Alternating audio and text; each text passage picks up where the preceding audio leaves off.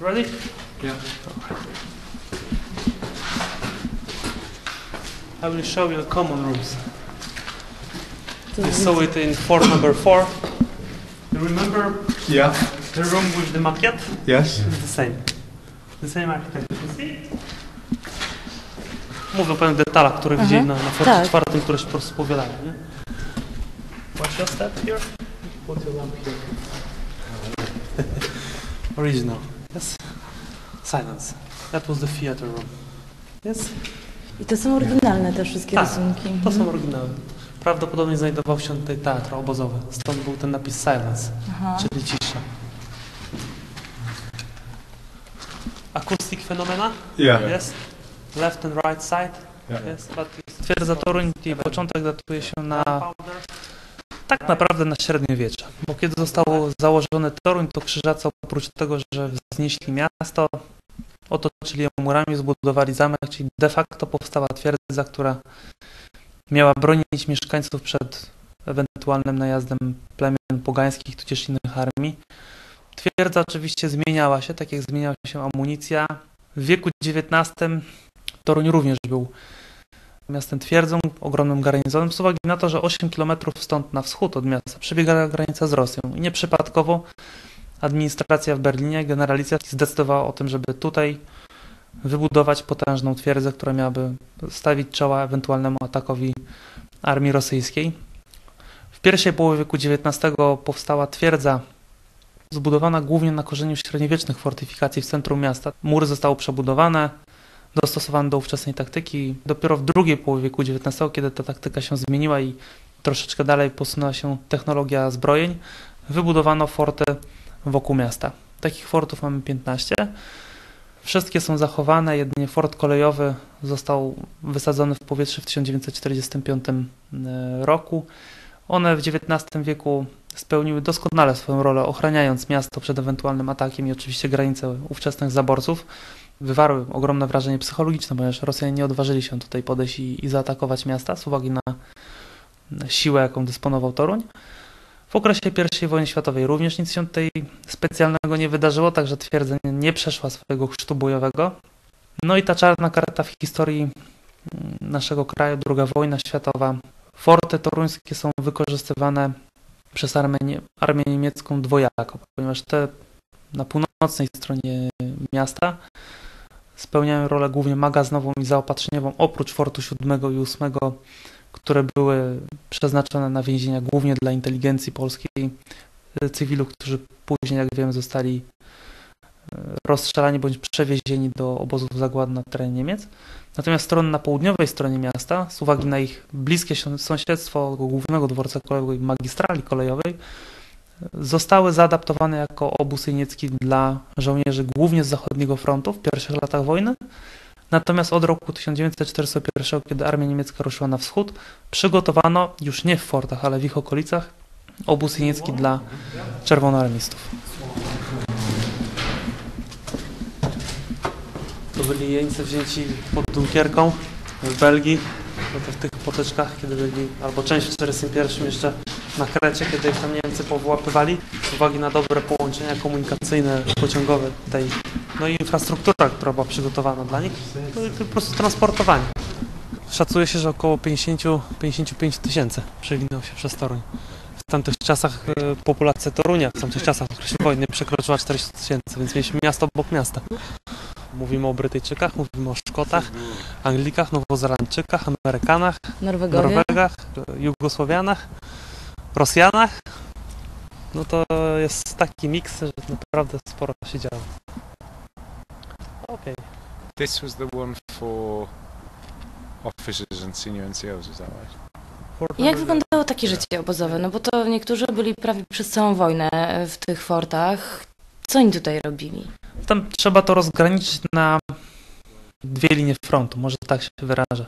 Czyli żołnierze z zachodniego frontu, mam tutaj na myśli Anglików, Francuzów, Belgów, Amerykanów, Australijczyków, przywódcy tychże państw respektowali razem z Hitlerem, ratyfikowali postanowienia konwencji genewskiej i żołnierze z frontu wschodniego, czerwonoarmistów, gdzie Stalin z Hitlerem między sobą tej konwencji nie ratyfikowali, nie, nie respektowali. W związku z czym żołnierze zachodniego frontu byli przetrzymywani w forcie, nie byli zmuszeni do e, przymusowych robót, bo tego zabrania konwencja. Regulacje dotyczące paczek z Czerwonego Krzyża, korespondencji z rodziną Komisji Czerwonego Krzyża wewnątrz obozu, która rozpatrywała czy też przypatrywała się warunkom sanitarnym, były one dopuszczane i te prawa były respektowane dla jeńców. Po drugiej stronie zaś, jeżeli chodzi o Rosjan, tutaj nie było żadnych zasad. Obóz rosyjski przez Niemców był nazwany Sowiet-Heide, czyli dżungla sowiecka. Sama nazwa mówi, do czego Niemcy dążyli. Trzeba powiedzieć otwarcie do eksterminacji jeńców, którzy byli tam przetrzymywani. Mowa tutaj o głodzie, o chorobach, o nikłej opiece medycznej, którą mieli jeńcy z zachodniego frontu. Tutaj nie chodziło o ich przetrzymanie, tu chodziło o eksterminację. Czuwając się troszeczkę w odczucia osób, które miały być, zostały przejęte, wywiezione nie wiadomo dokąd, bo dla nich kraj Polska, taki jak Polska, to było odległe ziemie nie wiedząc ile czasu tutaj spędzą i, i, i co się z nimi tutaj stanie, na pewno wywołał to lęki i na pewno przerażenie, co, czego też dowodem są relacje świadków w pamiętnikach, czy też w styczności tutaj z rodzinami. To osoby nawet te, które przeżyły po długim powrocie już przez lata, dopiero gdzieś po schyłku swojego życia, dopiero dzieli, dzielą się ze, z e, rodzinami, co tak naprawdę w tym Toruniu je dotknęło. He's been dead 20 years. Um, I'd be about 40, 41. He just sat down one night. Mój ojciec nie żyje już 20 lat. Miałem 40 lat, gdy opowiedział mi swoją historię. Po prostu usiadł i zaczął mówić. Nie wiem, jak ta rozmowa się zaczęła, mówił dwie godziny. Opowiadał też o tym, jak pracował jako jeniec na farmie. Tata pochodził ze wsi, więc umiał jeździć na koniu. W tym gospodarstwie niedaleko Torunia też z przyjacielem jeździł na koniu więc nie cały czas było bardzo ciężko. Ale pewnie najtrudniejsza była niepewność, co przyniesie jutro.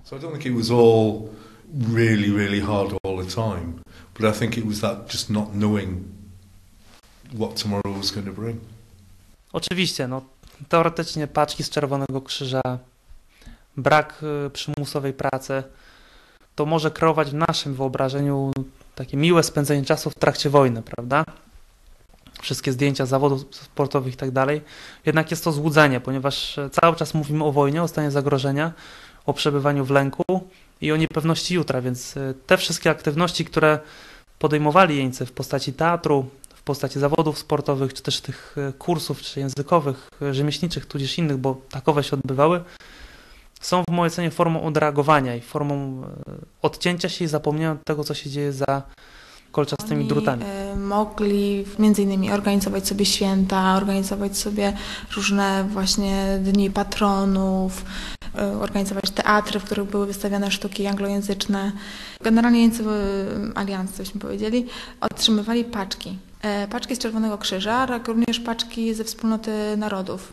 No tam były różne, przeróżne rzeczy. Tam przede wszystkim były kosmetyki, odzież, jedzenie w postaci kawy czy, czy, czy czekolady, ale również inne rzeczy. I stąd właśnie y, możliwość organizowania tej scenografii z tych paczek. Druga rzecz jest taka, że oni też robili własne jakby, y, czy, czy w ogóle jeśli mówimy o sporcie, tam robili własne tak przyrządy sportowe, czy narzędzia sportowe, czy jakieś tam kije do krokieta, czy cokolwiek. Y, tak samo tutaj z dekoracjami teatralnymi. Zasadniczo to były takie sztuki, które miały tak wspierać ducha narodu, więc to były, i musiały być dość znane. Czy na przykład Sindbad, żeglarz, czy jakieś takie westernowe. Nie mogły być to, to pozycje, które były oparte na y, autorach pochodzenia żydowskiego. Ale oni oczywiście też mieli swoje na to sposoby, zmieniali po prostu imię i tam trochę zmieniali fabułę i, y, i szło. A codzienność była bardzo trudna z uwagi przede wszystkim na racje żywnościowe. Pierwsza rzecz, która się pojawia w raportach czy, czy ambasady amerykańskiej, czy raportach Czerwonego Krzyża, to są właśnie um, skargi na małe racje żywnościowe. Oni zasadniczo na śniadanie. They didn't know whether they were going to get home. They didn't have food. Nie widzieli, kiedy wrócą do domu, często byli głodni. To wpłynęło na jego życie, zdeterminowało je. Wszystkim chłopcom, którzy tu byli, zdeterminowało. Prosty przykład. Jako dzieci musieliśmy zjeść jedzenie do ostatniego kawałka. Nie mogliśmy nic zostawić, bo wtedy ojciec mówił, nie wiecie, jak to jest być głodnym. Gdybyście wiedzieli, nic byście nigdy nie zostawiali. And that was you know from this time as well. He, he came here in June 1940. Ojciec był tu aż 5 lat. Trafił do Torunia w lipcu 1940 roku. Był jednym z pierwszych. Miał numer 5421, więc był w pierwszych pięciu tysiącach zarejestrowanych jeńców. Był w niewoli przez 5 lat. Długi czas jak dla młodego mężczyzny. Na początku najbardziej martwił się, że rodzina nie wie, co się z nim dzieje. Faktycznie nie wiedziała przez sześć miesięcy. Niemcy mieli propagandowe radio. Można było je w nocy odbierać w Wielkiej Brytanii. Czytali w nim nazwiska jeńców i babcia usłyszała nazwisko mojego ojca. Dowiedziała się w ten sposób, że został uwięziony, a nie zabity. Później były listy.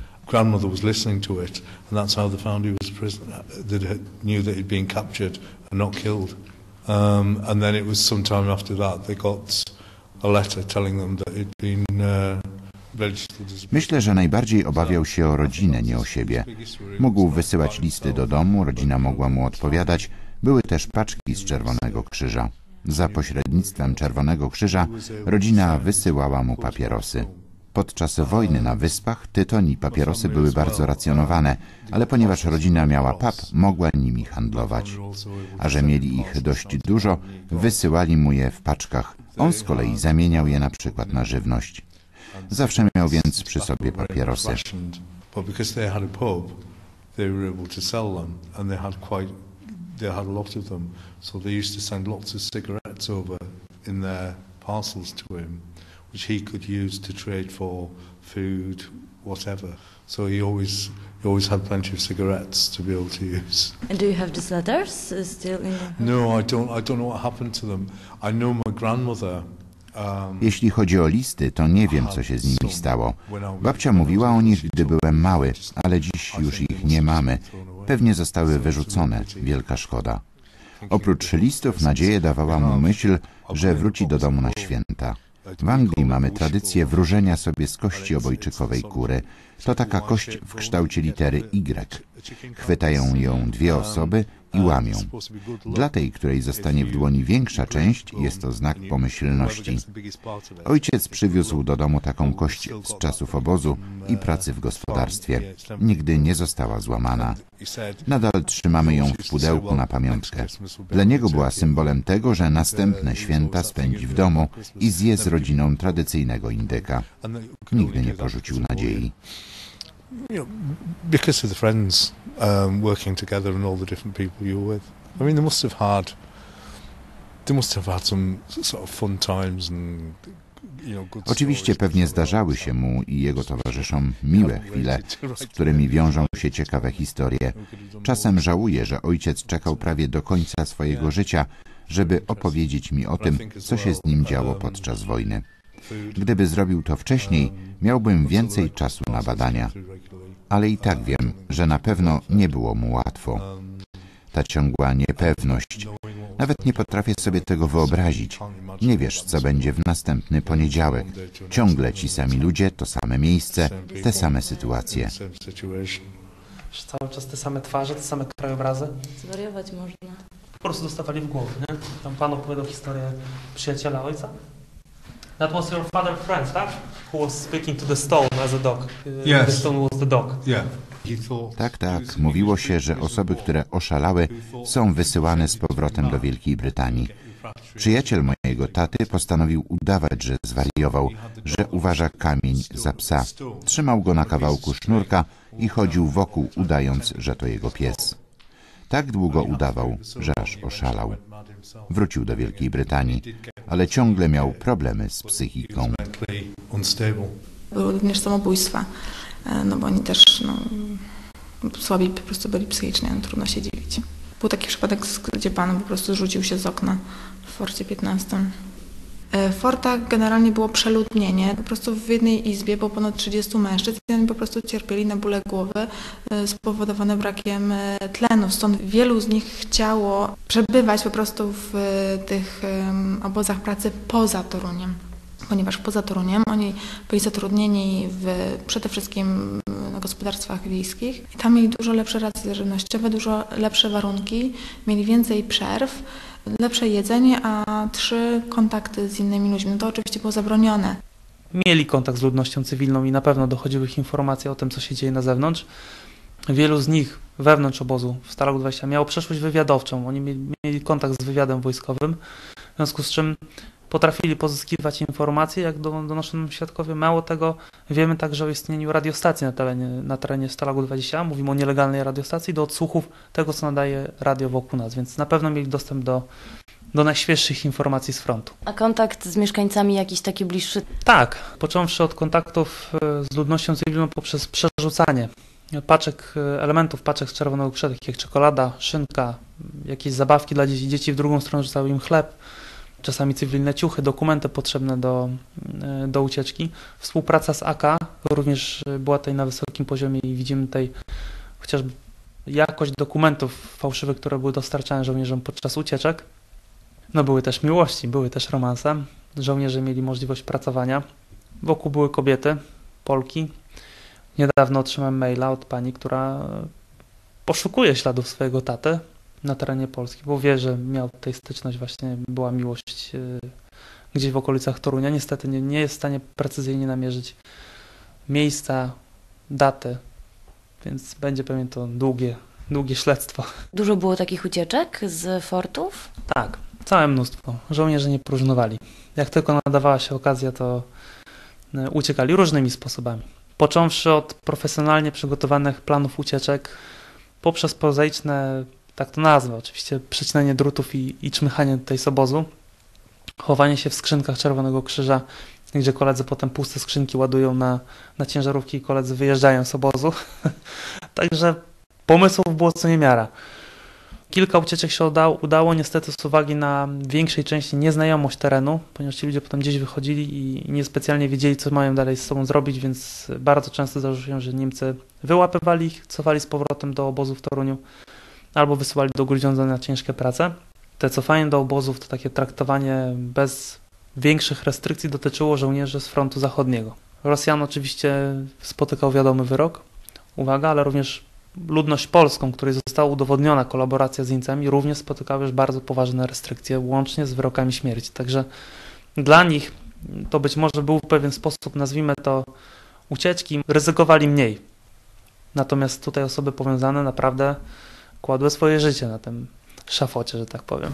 Sztalak 20A to był najbardziej surowy e, tutaj obóz w naszym okręgu i nawet podejście do płotu, czy było karane śmiercią. Oni mieli, e, był taki regulamin wewnątrz, e, wewnątrz sztalakowy i on mówił o tym, że nawet zbliżenie się do fortu grozi śmiercią. I taka rzeczywiście była sytuacja, że oni grali jakąś grę i piłka wypadła poza, no, poza linię boiska. I jeden z jeńców podszedł do, no po prostu po tą piłkę, no bo tak normalna sytuacja, tak, panowie grają i pada piłka i został zastrzelony.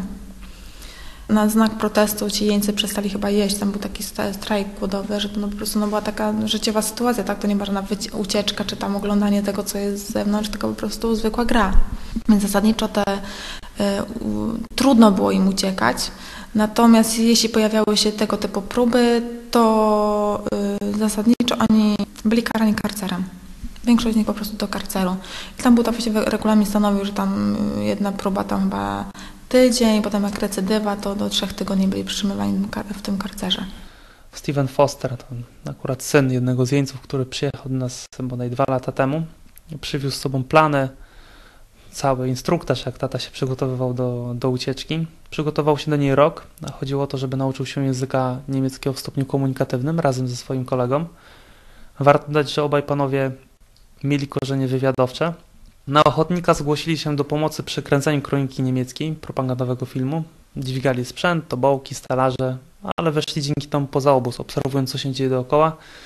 Wiedzieli, gdzie jest stacja kolejowa, obserwowali odcinki straży, którędy się poruszają wokół obozu, w związku z czym no to była niemal ucieczka idealna. Zbiegli o wczesnych godzinach porannych, wsiedli do pociągów w cywilnych ciuchach, które zostały dostarczone przez toruńskie tej komórki AK, mieli dokumenty wystawione na robotników sezonowych fabryki Siemens, więc nie wzbudzali żadnych podejrzeń. I tak czytając gazetę przez niemal 18 godzin dojechali prawie do granicy szwajcarskiej. Mówię prawie, bo na jednym z przystanków pani zwróciła uwagę na ich dość nietypowy akcent. Już panowie troszeczkę poczuli się zapewnie, zaczęli za dużo rozmawiać z tą panią i zwrócili na siebie uwagę. Pani poszła z donosem do gestapo, na granicy szwajcarskiej już po wnikliwej kontroli zostali przyłapani jako zbieg z, ze Stalagu 20A. Foster przekroczył granicę, udało mu się, natomiast kolegę już zatrzymano. No i takim naprawdę geście koleżeństwa i przyjaźni Foster cofnął się. Jeżeli uciekaliśmy razem, to wrócimy też razem. Wrócili tutaj do Stalagu 20A, spędzili około 21 dni w karnym bunkrze, po czym wyszli. Następnie nadszedł rok 45 i ewakuacja obozu w związku z ofensywą rosyjską. Foster przeżył, czyli ten, który przeżył, przeżył przez granicę, a kolega niestety zginął z wyczerpania w trakcie marszu. Z 500, z pierwszej grupy 500 jeńców, która wyszła, przeżyło 180. Jest jakaś cela? Tak. Now we are in the prison bunker. Yes? And look carefully on the on the walls. Yes? Addresses, names. Mnóstwo tego tutaj. Tak, tak, tak, tak. Tutaj całe, całe ściany. A tam na przykład też były te napisy, tam Tak, gdzie już ta cegła Tak, co obskrybowała cała się? była pokryta. No tak, a tu już większość z tym tynk, czy nie wiem co to było, odpad i już tego nie ma. Tak, tu różnice temperatur, niezabezpieczone wnętrza. No tak, bo to wszystko jest Tak. otwarte i- że no i też działo Wilgoć. dalej. Tam numery do. Pauliny widziałem, do Basi, także... Aha, dopisują swoje. Francuz czy Polak? Francuza. Całą ścieżkę bojową. A, to spisał, gdzie był, Mhm. w jakich latach. Tak. Były to jak to w obozie niemieckim, no, więc tak jak pani widziała na ścianach, jeśli ktoś tam pluł czy tam sobie żartował, no to go do takiego bunkra tutaj zaraz zamykali. 4, 5, 14 dni, w zależności co tam przeskropał. I taki uwięziony notował to na ścianie. Oczywiście, no, się tutaj nudzili i To co tu co tu robić. Wyskrobywali. Mój tata poznał historię swojego ojca, kiedy miał 40 lat. Potem przekazał ją mi. Dla mnie to niesamowita rzecz, przyjechać tu i zobaczyć, gdzie przebywał dziadek. To niewiarygodne, że był tu aż 5 lat. He could spend five years here. It is so emotional. He came home. There were lots of others who didn't. And I think that's why we're here. Because they've not been forgotten about. Sorry. It's just just thinking that. To dla mnie bardzo emocjonalne przeżycie. Mój ojciec wrócił do domu, ale było wielu, którzy nie wrócili. I chyba dlatego tu jestem. Bo o tym nie można zapomnieć. To są turyści, dla których dziedzictwo Torunia ma drugorzędne znaczenie. Chcą zobaczyć miasto, poznać je, ale nie jest to dla nich priorytetem, żeby zobaczyć e, dom Kopernika, gotyk na dotyk. Zależy im właśnie na, na poznaniu, na zgłębieniu historii Stalagu i dotarciu do miejsc, w których przebywali rodziny. A jest co im pokazać w Toruniu, jeśli chodzi właśnie o te forty? Jest e, ogromne pole do popisu, niestety w fatalnym stanie, bo mamy świetnie zachowane dziedzictwo, ale poza Fortem czwartym w Toruniu inne forty no, wołają pomstę do nieba. Żeby nie działania grup pasjonatów, bo jest nas więcej w Toruniu, no to w zasadzie wizyta ograniczałaby się do wizyty w Forcie czwartym i to wszystko. Na szczęście jest kilka instytucji, dzięki którym można pokazać im kopie dokumentów, rzeczy, artefakty znalezione na terenie obozu.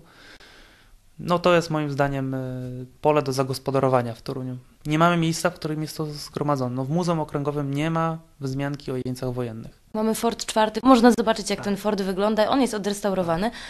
Są też forty, które są w prywatnych rękach, tam są jakieś magazyny, no powiedzmy, że są dobrze zachowane. Jeżeli się uda dogadać z właścicielem, to też można przyjść, tak, bo mamy takie przypadki.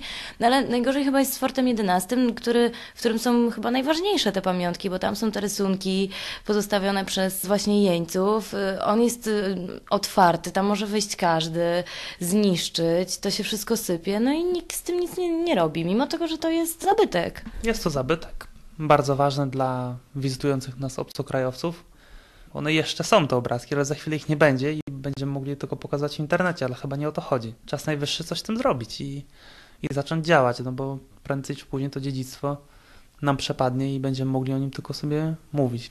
Jak pani może wpłynąć na właściciela, żeby ten zabytek dalej nie popadał w ruinę? No musielibyśmy się cofnąć do wczesnych bardzo lat 70., kiedy to ówczesny konserwator zabytków ówczesnemu dzierżawcy, najemcy wskazywał konieczność zadbania o fort. Od tamtej pory gruba teczka dokumentów świadczących o interwencjach konserwatorskich wobec kolejnych dzierżawców czy zarządzających tym fortem. Od tego tam 70 roku zmienił się właściciel, to jest prywatna osoba prowadząca działalność gospodarczą która no przynajmniej tych 10 czy kilkanaście jeszcze lat temu dozorowała, czy spowodowała, że ten obiekt był dozorowany, ale nieskutecznie. I dowodem tej nieskuteczności jest znowu korespondencja do prokuratury z zawiadomieniem o możliwości popełnienia przestępstwa poprzez zaniechanie i nienależytą dbałość o obiekt poprzez jego niezabezpieczenie, co powodowało kolejne włamania i kradzieże. To był rok 2004. To był rok 2004 i postanowienie o umorzeniu śledztwa z powodu niewykrycia sprawcy przestępstwa. Miasto złożyło kolejne zawiadomienie do prokuratury? Dlaczego? Nic się nie zmienia w sposobie postępowania prokuratury. Jeżeli negocjujemy z właścicielem, nakłaniamy, prosimy, nie grozimy czy nie posuwamy się do ostatecznych rozstrzygnięć, czyli na przykład e, używania prokuratury, to wydawałoby się, że powinno to działać. Mało tego, wskazujemy możliwości wsparcia. No ale do takiego rozwiązania potrzeba jest dwóch stron. Tak długo, jak długo właściciel nie chce lub nie może, bo tego przecież też nie mogę wykluczyć, włożyć swoich własnych środków w tak zwany wkład własny, wymagalny w momencie, w którym ubiegałby się o wsparcie finansowe prac konserwatorskich czy remontowych, tak długo się nie porozumiemy. Z całą pewnością jest to jeden z wielu trudnych bardzo, czy kłopotliwych właścicieli, z którym kontakt jest albo żaden, albo niesłychanie utrudniony. Nie ma w tej chwili. A jakiś kontakt mogłaby Pani mi bezpośredni No podać? nie bardzo mogę. Nie ma szefa jeszcze, a wczoraj miał gościa do 16. A nie może pan mailem napisać o co chodzi, to wtedy się ustosunkuje szef. Dobrze, Na spróbujemy. ten ogólny, nie? Mhm. To jest. Nie ma szefa, proszę pana. A kiedy będzie? Trudno mi powiedzieć, no dzisiaj prawdopodobnie już go nie będzie. Bo już ponad dwa tygodnie temu kontaktowaliśmy się z Państwem, wysłaliśmy też maila, nie otrzymaliśmy żadnej odpowiedzi na Aha, niego. coś pamiętam, że coś takiego było. No trudno mi powiedzieć, to pan będzie uprzejmy jutro przedzwonić, a ja w międzyczasie spróbuję zapytać. Nic na to nie poradzę. Szef otrzymał ten, tego maila. No nie wiem, dlaczego nie ma odpowiedzi. Ale odpowie nam czy nie? No to tego ja nie wiem. No szef ma ten mail. A mogłaby Pani skontaktować się z szefem, bo już no, naprawdę od kilku tygodni próbujemy się skontaktować, a zależy nam... ja panu powiem, że przed świętami to już raczej jest niemożliwe, bo ma tyle tutaj różnych spotkań, także raczej może po świętach. Teraz Państwo mają zebrany materiał obszerny, więcej się wydarzyło od tego 2004 roku. Obiekt przez to, że niezabezpieczony niszczeje, więc może więcej e, prokuratura znalazłaby tych argumentów, żeby tego pana w cudzysłowie ukarać. O tym zdecyduje sąd. Przykładem na to jest sprawa z Dolnego Śląska, gdzie właściciel zabytkowego e, obiektu, jeżeli w ciągu dwóch lat nie doprowadzi do stanu poprzedniego, jeżeli po prostu nie zabezpieczy i nie odtworzy czy nie naprawi szkód, e, pójdzie do więzienia. I to jest przykład na to, że takie osoby mogą ponieść konsekwencje. I to być może byłby taki bat w cudzysłowie Tak, być, mo być może tak, chociaż to, że tam się skończyło skazaniem w zawieszeniu właściciela, to nie oznacza, że uwzględniając nasze warunki tutaj byłoby podobnie, ale być może. Natomiast jest jeszcze inna refleksja. No, czy skazanie właściciela na karę finansową, czy wręcz na karę więzienia pomaga wprost zabytkowi? Dla mnie wzorcowym przykładem jest Szubin. Muzeum jest perfekcyjnie przygotowane, bardzo ładna prezentacja, wspaniałe zabytki. Osoby z zakładu poprawczego są zaangażowane w odtworzenie makiety całego obozu. Ja ją widziałem ostatnio, to jest fantastyczne przedsięwzięcie, ogromna makieta z barakami, ze wszystkimi szczegółami. Będzie dostępna dla wszystkich. Władze lokalne odsłaniają pomniki, tablice, drążą ten temat, więc y, zależy im, są zaangażowani. Więc zestawiając Toruń z Szubinem, bo mogę się pokusić o takie porównanie, no blado przy tym wypadamy. Przyjeżdżają e, różne wycieczki. Ostatnio Australijczycy. To była bardzo głośna sprawa w Australii, a w Toruniu właściwie nikt o tym nie mówi. Tak, to szukaliśmy zgubionych kluczy. Okazało się, że jeden z jeńców dorobił wytrych do magazynu ziemniaków Niemcom, po czym pędził whisky i tak dalej. No schował ten wytrych, te klucze przed ewakuacją obozu, jeszcze przed swoją śmiercią. Powiedział, wskazał dokładnie, w którym miejscu szukać tych wytrychów. Przyjechał jego potomek, poszliśmy i znaleźliśmy jakiś zwitek drutów, które wyglądały jak, wy, jak wytrychy, więc mniemam, że znaleźliśmy. Kiedy wrócił do, do Australii, ów potomek zwołał konferencję o dziedzictwie australijskim w Toruniu. głośna sprawa w mediach, do tego stopnia, że The Guardian y, napisał o tym artykuł. W konferencji wzięło udział bez mała 500 osób, łącznie z przedstawicielami rządu australijskiego, co pokazuje rangę, jak oni patrzą na pewne prozaiczne sprawy z naszego punktu widzenia, dla nich jakże ważne. A wspomniany zwitek drutów jest nam artefaktem, także no to pokazuje skalę zjawiska, z czym mamy do czynienia, jak, jak bardzo szanują swoją historię, nawet jeśli nie są do, końca przebadane, jak chcą ją poznać i jak, dla, jak bardzo jest to dla nich interesujące. Jako miasto mm, dbamy i staramy się rewitalizować e, cały ten pierścień forteczny Torunia. Mm, Niestety jako gmina możemy zadbać tylko o tereny, które są naszą własnością. Obecnie w posiadaniu gminy są cztery forty i e, w związku z nową perspektywą e, finansową Unii Europejskiej mamy możliwość przygotowania projektu rewi- rewitalizacji właśnie na te cztery obiekty. W przypadku Fortu 11 niestety nie możemy starać się o jakiekolwiek dofinansowanie, czy w ogóle podejmować żadnych kroków względem tej nieruchomości, ponieważ jest ona własnością prywatną. A może miasto wystąpiłoby do tego właściciela pytaniem na przykład, czy nie jest zainteresowany odsprzedażą tej nieruchomości, bo w interesie miasta, biorąc pod uwagę historię tego obiektu i to, że się cieszy jednak powodzeniem, bo odwiedzają go osoby z Australii, nawet są w stanie tutaj przylecieć, wykorzystać, odkupić, a później zrewitalizować. W tej chwili w planie budżetowym czy w wiel- wieloletniej prognozie finansowej nie ma miejsca w budżecie na to, żebyśmy kupowali kolejne nieruchomości. Staramy się w pierwszej kolejności zadbać o to, co jest naszą własnością. Gwarantuję panu, że jeśli ktoś chciałby się pozbyć nieruchomości, to na pewno znalazłby na to sposób i z pewnością zwróciłby się do nas o, z prośbą o odkupienie. Natomiast w tym przypadku właściciel w ogóle nie kontaktuje się z miastem. A na mocy obowiązujących przepisów prawa nie ma możliwości pozbawienia właściciela własności nieruchomości. Ten pan nie występuje do miasta, ale miasto powinno wyjść z pierwszym krokiem, żeby zaproponować e, może cenę, może spotkać się, negocjacje, no, zrobić tyle, ile może. To, co Pan proponuje, może jest szczytne, ale no trochę jakby niezgodne też z kierunkiem y, i z trendem, który obecnie obowiązuje. Jednak wszędzie obserwujemy komercjalizację i prywatyzację tego typu obiektów. My i tak chcemy ten pierścień forteczny w zakresie w takim, jakim jesteśmy właścicielem. Chcemy rewitalizować i w pierwszej kolejności zrobimy to. Tylko może być za późno w tym sensie, że jeżeli ten obiekt nie zostanie odkupiony, tak, czy nie zostanie odpowiednio zabezpieczony, to za kilka lat wszyscy poniosą tego konsekwencje, bo stracimy coś, miasto straci coś i region coś, co już nie będzie do odtworzenia, więc tutaj koszty będą dużo większe, społeczne, historyczne, nie tylko finansowe. Zgadza się, natomiast w pierwszej, y, w pierwszej kolejności myślę, że należy przemówić do rozsądku właściciela nieruchomości. uh, Chciałbym móc oglądać taką ścianę z napisami pozostawionymi przez